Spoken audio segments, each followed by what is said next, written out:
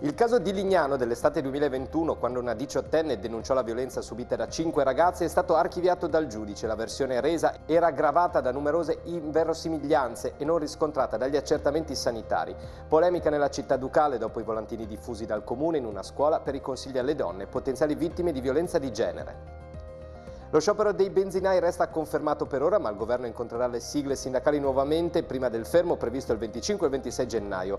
Assicurato l'avvio di un confronto con il settore che inizierà con un tavolo tecnico fissato per martedì. Stasera dibattito a fair play. Incontro a Gorizia tra l'ex commissario europeo Romano Prodi e l'ex presidente sloveno Tusk. Necessario subito un allargamento dell'Unione a Balcani e Albania. Finché non ci sarà un accordo con la Cina, la guerra non finirà e Gorizia sia modello ad esempio. Tra aprile e maggio del 2022 hanno messo a segno una serie di raggiri che hanno fruttato 100.000 euro in contanti. Per questo motivo tre cittadini italiani, dopo la decisione del GIP, sono stati posti ai domiciliari a eseguire le misure la Polizia di Udine.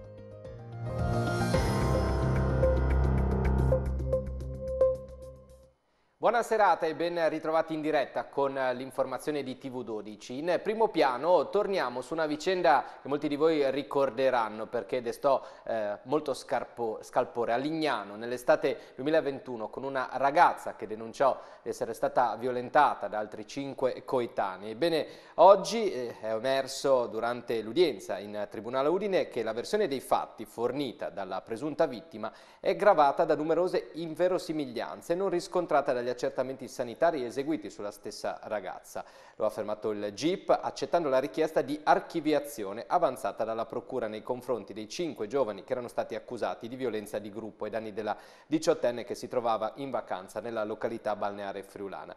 Infatti erano accaduti, come detto, nell'estate 2021. La Procura, poco prima di Natale, aveva avanzato la proposta di archiviazione anche sulla scorta dei messaggi social e delle chat tra le ragazze e i coetanei in cui c'erano elementi tali da far ipotizzare che quanto avvenuto nell'appartamento fosse stato frutto di rapporti consenzienti. Il GIP ha tuttavia disposto l'imputazione coatta per diffusione illecita di video sessualmente espliciti nei confronti di uno degli indagati che aveva inviato immagini intime da alcuni contatti dalla propria messaggeria istantanea. Ad agosto del 2021 la squadra mobile di Udine aveva indagato i cinque tra i 17 e i 21 anni, tutti italiani, per il reato di violenza sessuale di gruppo. Secondo quanto era stato denunciato, la diciottenne aveva incontrato tre dei cinque sul lungomare e aveva accettato l'invito a seguirli in un appartamento dove aveva riferito di aver subito da parte dei tre e di altri due coinquilini, giunti più tardi, proprio le violenze. Ora è arrivata l'archiviazione.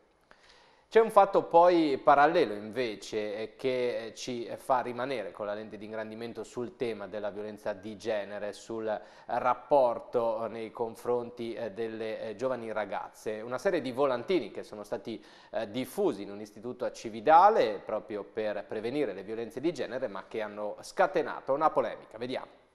Non fate sorrisi ironici o provocatori a sconosciuti, evitate di indossare oggetti di valore, ricordate che l'aggressore osserva e seleziona le vittime, anche sulla base di alcuni particolari come gioielli e abbigliamento. Questi alcuni dei consigli alle donne, potenziali vittime di violenza di genere, contenuti in un opuscolo, realizzato e distribuito dal Comune di Cividale nelle scuole superiori della cittadina in collaborazione con la Regione. Cartelli di dissenso da parte degli studenti nei corridoi del convito nazionale Paolo Diacono, con i giovani che si sono riuniti in assemblea per protestare. Al di là delle frasi definite inaccettabili, la coordinatrice del movimento studentesco per il futuro, Beatrice Bertossi, ha ricordato come la prevenzione delle violenze di genere debba partire innanzitutto dagli aggressori.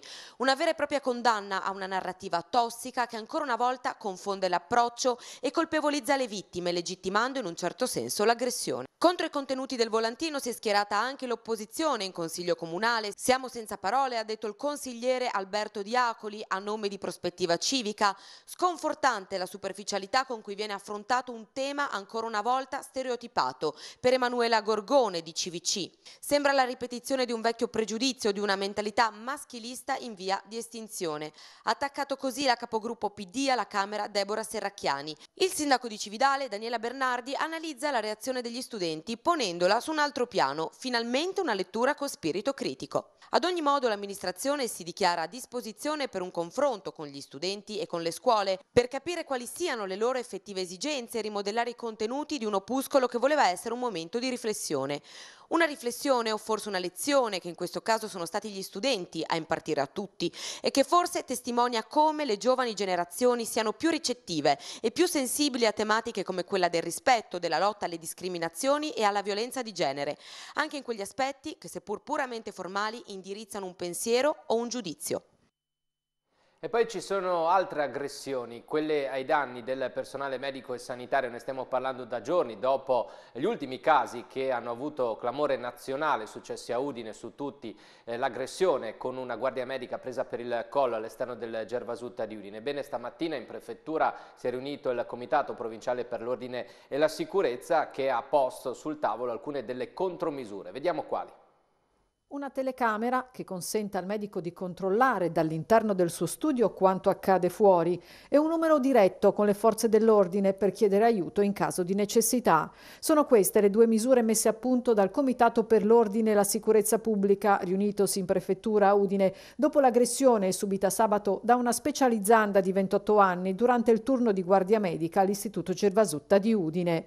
Stando a un sondaggio condotto da Nao Assomed qualche mese fa, in tutta Italia si verificano in media 10 aggressioni al giorno nei confronti del personale sanitario. Tra le cause fattori socioculturali sui quali non è facile agire nell'immediato. Le forze dell'ordine non possono controllare ogni presidio sanitario e allora un aiuto può giungere dalla tecnologia. Abbiamo comunque concordato con le forze di polizia presenti, quindi anche in particolare con questore, la possibilità di avere un contatto diretto, in particolare tra le guardie mediche, quindi soprattutto quelle più sensibili, contatto diretto, quindi una chiamata diretta in caso di evenienze, in caso di situazioni di, di allarme e di tensione. Ovviamente con un'implementazione del sistema di videosorveglianza che è sempre utile e opportuno, quindi su questo ecco, anche l'azienda si è messa a disposizione e darà maggiore rafforzamento dell'attuale sistema di eh, videosorveglianza e in particolare poi anche evidenziando alcune guardie mediche che possono essere più critiche e quindi più soggette a eventuali problemi in prospettiva di eh, tensione o di, eh, di allarme. Una vigilanza generica radiocollegata in questo momento eh, l'abbiamo valutata, ma insomma, tenendo conto quali possono essere le guardie mediche che possono essere a maggior rischio. Adesso noi faremo un'analisi puntuale eh, dei luoghi nei quali fare questo lavoro, poi ogni luogo ha una sua dinamica. Eh, la testimonianza del medico che ha subito questa aggressione eh, ha manifestato la necessità non soltanto di una sorveglianza esterna al sistema, ma una capacità anche di sorveglianza dall'interno dell'ambulatorio. Quindi bisogna capire punto per punto quali sono le esigenze, ormai la tecnologia ci consente di fare queste cose, quindi non credo che sia un problema riuscire a farlo. Lo faremo eh, analizzando i punti di maggiore eh, pericolosità Forse anche qualche misura esemplare nei confronti di chi aggredisce infermieri e medici che operano con sacrificio a servizio di chi sta male e della comunità tutta sarebbe necessaria, ha osservato Riccardi. Anche l'opera di alfabetizzazione del sistema sanitario deve essere importante, ha concluso il prefetto. I cittadini devono sapere che prestazioni sanitarie e in quali luoghi possono richiedere. Altro vertice si è tenuto a Roma, quello tra il governo e i rappresentanti sindacali dei gestori, dei distributori di carburante. Dopo le polemiche, l'aumento dei costi, dei prezzi di diesel e benzina nelle ultime settimane, vediamo com'è finita eh, con gli stessi benzinai che hanno al momento congelato lo sciopero annunciato ieri per fine mese, in attesa poi di un nuovo confronto previsto per martedì prossimo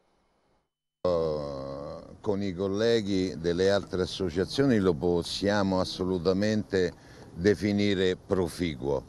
Eh, è stato chiarito quello che è eh, ed è ben chiaro al governo e ringraziamo, ringrazio personalmente ma penso anche i colleghi ringraziano il, il governo e i ministri che ci hanno accolto, hanno ascoltato le esigenze della categoria e possiamo dire siamo nella condizione di eh, sentirci abbastanza soddisfatti non fosse altro che stato stabilito a breve di eh, incontrarci di nuovo per far partire il tavolo tecnico emergenziale di settore che chiediamo da tempo. Ma lo sciopero confermato? È revocato, confermato o congelato? Congelato, è congelato. Lo sciopero è congelato perché siamo in attesa appunto di capire eh, quando il governo ci convocherà, hanno promesso i primi giorni della settimana prossima per questo tavolo di filiera e anche per far sì che eh, ci sia la possibilità di leggere poi sulla Gazzetta Ufficiale il testo del decreto che, sulla trasparenza che stanno elaborando. Ma che cosa, vi ha, cioè cosa ha detto il governo? Quali sono le cose che ha messo sul tavolo? Ha messo sul tavolo appunto il fatto che quel, quella bozza di decreto trasparenza che girava non è definitiva, per cui noi ci riserviamo di valutarlo, quindi era uno dei motivi del contendere. Diciamo i rapporti col governo si sono tranquillizzati, abbiamo preso atto entrambi che ci sono state anche delle situazioni di non comprensione reciproca per cui c'è stata la massima collaborazione e, diciamo, con, con, eh, i ministri e quindi cercheremo insomma, di rendere positivo questo incontro anche prossimamente. Il presidente nazionale della Figis Confcommercio Bruno Bearzi, eh, friulano, sarà eh, ospite stasera della trasmissione Fair Play a cura di Francesco Pezzella in onda dalle 21.15 che si occuperà proprio del caro benzina. Per quanto riguarda il governo, uno dei suoi massimi rappresentanti, il ministro Piantedosi, sarà ospite domani a Trieste con un vertice fissato in prefettura eh, per fare il punto della situazione sul fronte rotta balcanica. Balcani che eh, sono stati anche al centro stasera eh, di un incontro promosso a Gorizia che ha visto l'illustre partecipazione dell'ex commissario europeo Romano Prodi e dell'ex presidente sloveno Turk. In collegamento con noi da Gorizia ha seguito il vertice Francesca Santoro, buonasera. Buonasera David, si parla di Europa Gorizia nella sede dell'Università di Trieste come primo appuntamento del 2023 del ciclo Caffè Corretto Scienza, un approfondimento appunto sul eh, modello europeo. Ospiti Romano Prodi, per due volte Presidente del Consiglio, oltre che Presidente della Commissione Europea, e Danilo Turk che è stato eh, Presidente della Repubblica di Slovenia. Quindi due protagonisti del eh, della storia dell'Europa dell'ultimo ventennio e sono stati anche protagonisti dell'allargamento eh, dell'Unione Europea alla Slovenia nel 2004. Prodi è proprio tornato alla notte del primo maggio del 2004 quando in Transalpina è stata, eh, stata festeggiata l'ingresso della Slovenia in Schengen, ha detto è stata una delle più grandi emozioni della mia vita. E Prodi ha parlato insieme a Turk anche della situazione dell'Europa attuale, ha detto che finché non ci sarà una, un accordo tra Stati Uniti e Cina non si arriverà mai alla pace in Ucraina ha auspicato l'allargamento imminente, della, urgente quantomeno, dell'Unione Europea anche ai paesi balcanici all'Albania come eh, presupposto necessario alla pace. Un incontro affollato non solo da eh, studenti universitari ma da tutti i protagonisti eh, di Go 2025, la capitale europea della cultura che unisce Gorizia e Nova Gorizia appunto per il 2025 e in tal senso è stata fatta una riflessione anche eh, su questo fronte. Vediamo le interviste che ci hanno rilasciato per linea allo studio. Bisogna far presto a chiudere i confini dell'Europa allargando a tutti i paesi dell'ex Jugoslavia più l'Albania e facciamo presto perché d'altra parte non, non portano nessun problema economico perché tutti assieme fanno meno del 2% del prodotto lordo europeo, quindi non troviamo ragioni che non esistono. Ecco. Qui ci vuole una volontà politica, ovviamente questo obbligherebbe anche la riforma delle istituzioni europee perché bisogna cambiare i processi decisionali, ma è ora che noi lo facciamo. L'Europa è, diciamo così, nelle mani degli Stati Uniti, cioè il potere decisionale, dall'aspetto militare americano e finché non faremo l'esercito europeo deve essere così e eh, da parte russa eh, il ruolo della Cina è dominante, eh, c'è questa posizione cinese del tutto particolare che dice la nostra amicizia con la Russia è fortissima ma i confini non si toccano, cioè voi capite che questo significa una... E poi non hanno dato ai cinesi neanche un'arma e neanche una... ai, ai russi, scusate, non hanno dato ai russi neanche un'arma e neanche una pallottola. Ovviamente la, il modello Gorizia ne stiamo parlando perché tante è stato già fatto nel passato. Ovviamente non si parla soltanto delle due città, ma di un territorio molto più ampio. Pensiamo soltanto al territorio del Collio in Slovenia, Brda. Secondo me è uno dei territori più coltivati, più belli d'Europa ed è una dimostrazione di quello che si riesce a fare insieme ed è anche una cosa da valorizzare certamente. Per questo mi sembra molto importante anche il progetto della Capitale Europea della Cultura, il fatto che si è riuscito di nuovo con tutto quanto è già stato fatto si riesce a costruire ancora di più. Dunque noi siamo un modello, il modello Gorizia è un modello per l'Europa per via di quello che è successo qui. Pensiamo anche del fatto per la Capitale Europea della Cultura della collaborazione in ambiti culturali oltre ai soliti ambiti culturali dei quali si parte, Rimaniamo a Gorizia ma per eh, riallacciare il filo della cronaca perché il legittimo impedimento di uno degli otto imputati ha comportato il rinvio al 3 marzo prossimo del processo per la morte di Stefano Borges, il tredicenne di Gorizia caduto in un pozzo mentre nel luglio del 2020 stava svolgendo alcune attività ludiche all'interno di un centro estivo. La prima udienza si era svolta stamane ma ha visto soltanto l'immediato rinvio. Lo scorso luglio il direttore della Fondazione Coronini Kronberg che gestisce il parco dove è avvenuto l'incidente, Enrico Graziano, aveva concordato scontato una pena di un anno e 11 mesi con la sospensione condizionale, mentre i due tecnici responsabili del piano sicurezza, Federico Costadura e Matteo Turcuto, erano stati condannati con rito abbreviato a due anni. Eh, saranno giudicati invece a partire dal prossimo 3 marzo il sindaco di Gorizia Ziberna come presidente di diritto della Fondazione Coronini Kronberg e i rimanenti componenti del curatorio della stessa, Marco Menato, l'assessore regionale Gibelli, Raffaella Sgubin, Maddalena Malni, Maurizio Boaro, Bruno Pascoli e Simonetta Bonomi. La polizia di Udine invece ha arrestato tre persone imparentate tra loro per una truffa basata sullo scambio fraudolento di banconote di diverso taglio. Vediamo come. Letteralmente si traduce come affare sporco, ma di fatto il RIP deal è un'operazione di cambio fraudolente di denaro. La polizia di Udine nelle prime ore della mattinata di oggi ha arrestato tre italiani per tre episodi di questo genere di truffa.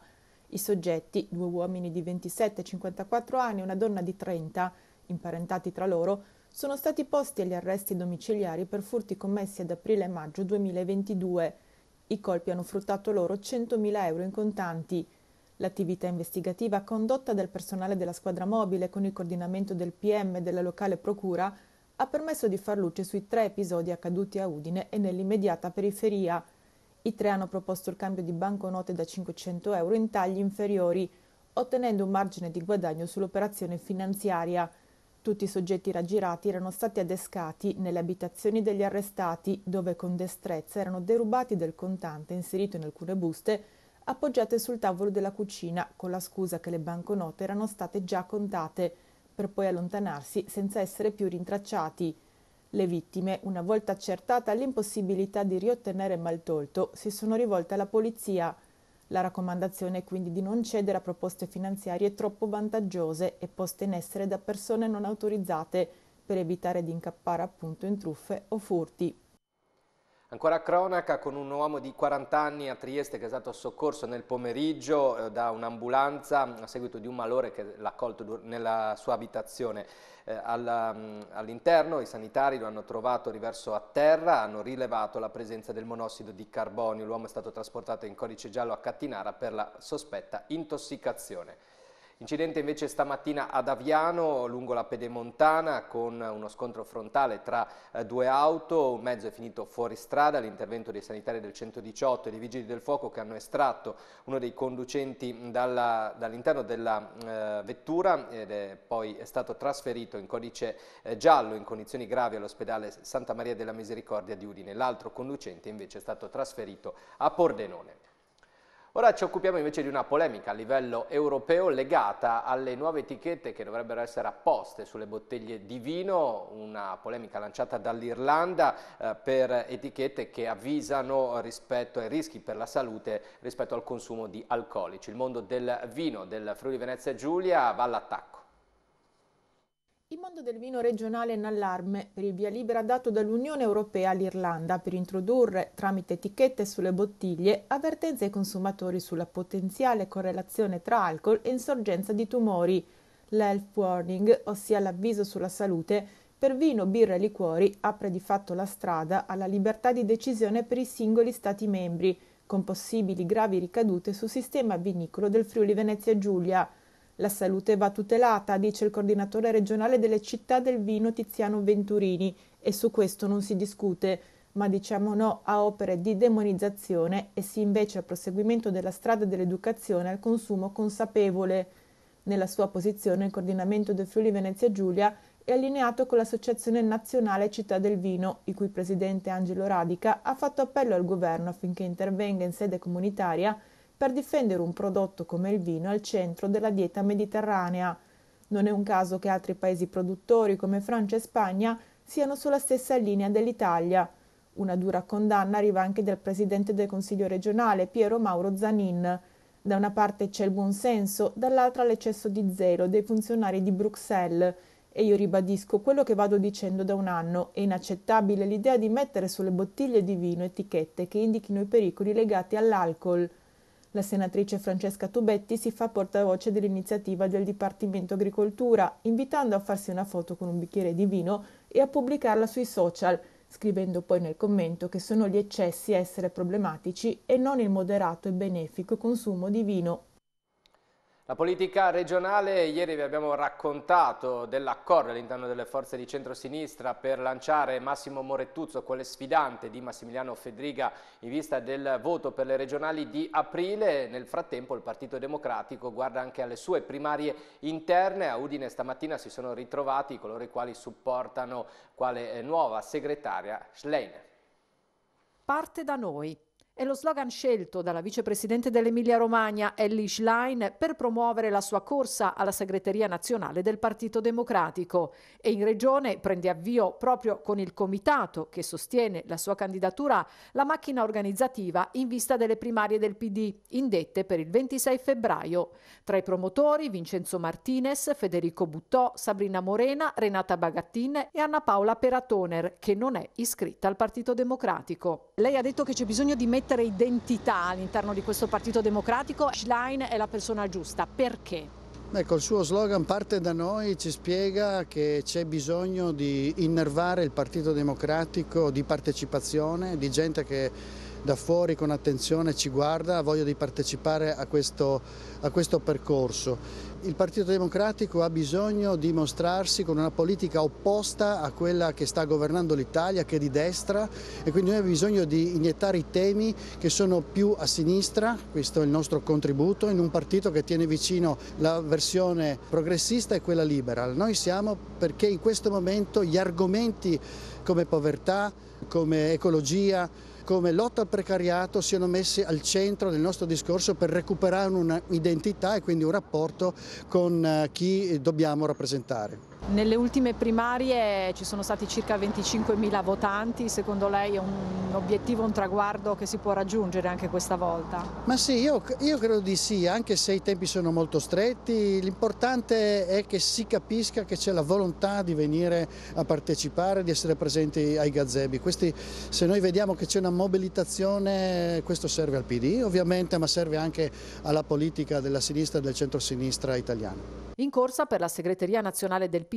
lo ricordiamo, oltre a Elish Line ci sono il presidente dell'Emilia Romagna, Stefano Bonaccini, l'ex ministro delle infrastrutture, Paola De Michieli, anche lei emiliana, e il triestino Gianni Cooperlo. Non si arrestano invece a Pordenone le polemiche sulla raccolta differenziata con il sindaco Ciriani che ha detto che la città non è Scampia e da Napoli è arrivata la risposta. La nuova raccolta differenziata a Pordenone è ancora al centro delle polemiche. Il porta a porta, per carta, plastica e secco, abbinato ai bidoni stradali con tessera per umido e vetro, non è ancora entrato a pieno regime. Sono tanti gli abbandoni selvaggi e sono emersi migliaia di evasori totali in città, che quindi lasciano i rifiuti fuori dai cassonetti. Il sindaco Alessandro Ciriani, cercando di buttare acqua sul fuoco, ha ammesso che c'è sì qualche criticità, ma Pordenone non è Scampia. La voce è arrivata in fretta a Napoli e la risposta non si è fatta attendere. Il presidente dell'ottava municipalità partenopea, Nicola Nardella, ha dichiarato che il pregiudizio fa rilasciare dichiarazioni imbarazzanti e ha sottolineato il forte cambiamento di Scampia in questi anni, invitando Ciriani a visitare il quartiere per vedere con i suoi occhi la rigenerazione. La tensione resta alta però anche in città. Un noto commercialista ha minacciato pubblicamente un ricorso al TAR contro la nuova tariffa sui rifiuti. La risposta è arrivata direttamente da Gea, che con una nota piccata ha spiegato il nuovo sistema di raccolta a profani e sprovveduti, garantendo l'efficacia del porta a porta.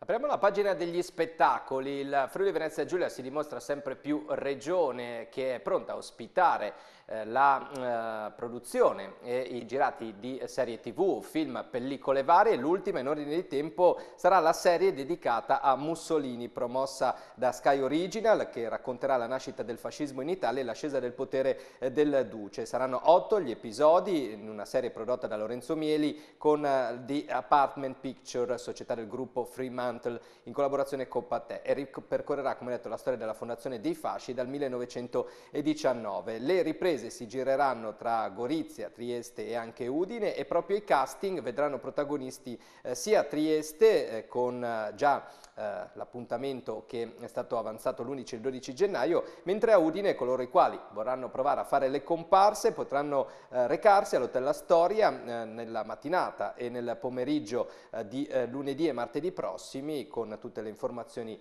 si possono trovare online, i candidati dovranno appunto rispettare alcuni requisiti e potranno poi tentare la carta degli attori in questa serie tv. A Trieste, a proposito di cinema, invece stamattina è stato presentato il Trieste Film Festival. È questo lo spirito col quale noi accompagniamo i nostri soggetti di produzione culturale finanziando le loro iniziative, e cioè quello di soddisfare la richiesta di cultura che c'è nella nostra regione, che è molto alta, dati statistici e non affermazioni vaghe dell'assessore vanaglorioso, eh, vanagloriosa nel mio caso, ma anche cercare di portare sempre un pezzettino di cultura diversa in più. Ci sono persone che amano il cinema, ma che magari trascurano altri aspetti del, del mondo della cultura e che invece vengono aiutate a scoprire questi altri aspetti. Per esempio, anche quest'anno c'è qualcosa che si fa con i musei, qualcosa che si fa con le scuole, con gli studenti. Ah, ci sono mm, tante aperture verso segmenti di produzione culturale che non riguardano il cinema e invece il focus sul cinema è un focus importante è eh, il rispetto della vocazione del Trieste Film Festival che si occupa di cinema mitteleuropeo sostanzialmente e continua a farlo ma continua a farlo sia con proposte che vengono riproposte, perché sono storia, sia con il nuovo che sta arrivando. Siamo in chiusura, vi ricordiamo il programma per la prima serata su Dinese TV, TV12 con gli appuntamenti dedicati al campionato, il venerdì del direttore, cartellino giallo con Tommaso Cerno e poi in prima serata 21.15 Fair Play con Francesco Pezzella si parlerà del pieno salato dove è la vera speculazione sul fronte carburanti. L'informazione invece tornerà col TG Note alle 22.30. Grazie per averci seguito, le previsioni del tempo e l'augurio di una buona serata.